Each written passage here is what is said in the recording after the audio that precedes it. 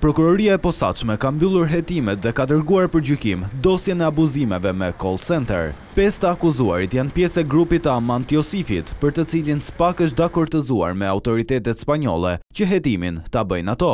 Mashtrimi ka të bëjë me kriptovalutat me një dëm prej gjashtë pikë një milionë euro ndaj qytetarëve të huaj.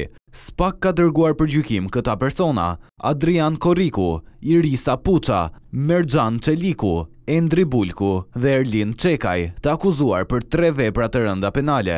Në bashkëpunim me autoritetet spanjolle janë gjendur dhe sekuestruar në posedim të Amant Josifit edhe subjekte tregtare të administruar nga ai, si dhe familjarëve të tij, e po ashtu disa llogari bankare që kishin më shumë se dy milionë euro.